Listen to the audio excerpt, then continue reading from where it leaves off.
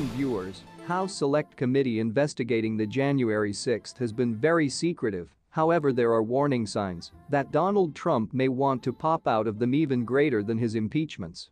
In this video we will break it all down for you, but before we proceed, if you are new to my channel, please take a minute of your precious time to hit the red subscribe button below and turn on the notification bell to get the latest updates from us. Comparing the upcoming hearings to the summertime season, Blockbuster acknowledged the columnist said the cast of characters who will display up in advance than the bipartisan committee of House participants will likely paint a devastating portrait of Trump's involvement and that could need to cause charges. Signs and symptoms that Donald Trump need to pop out of them even greater damage than his impeachments. The roster of achievable intelligence covered up for the January 6 hearings isn't always too shabby, he writes.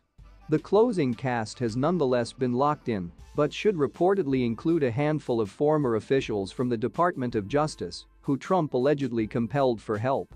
We could in all likelihood even see cameo appearances by means of video clip of previously recorded testimony with the aid of marquee game enthusiasts inclusive of Donald Trump Jr. and Jared Kushner. Abdallah brought the hearings in all likelihood show off that Trump and his inner circle can also additionally have had extra than a peace segment with inside the January 6 at the Capitol, which he said makes this worse for Trump with reference to his impeachments due to the fact he might be indicted under a myriad of felony hints with the possibility of conviction.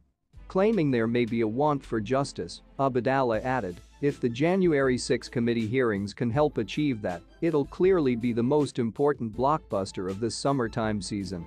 He served as high-quality help to the House Judiciary Committee at some stage in Donald Trump's first impeachment and is the author of the brand new book in this conversation. He describes the power of Trumpery, as he calls it a combination of disdain for ethical restrictions he moreover discusses why the Republican Party so enthusiastically mated with Trumpism in its quest for autocratic and near-dictatorial power and control over American government and society.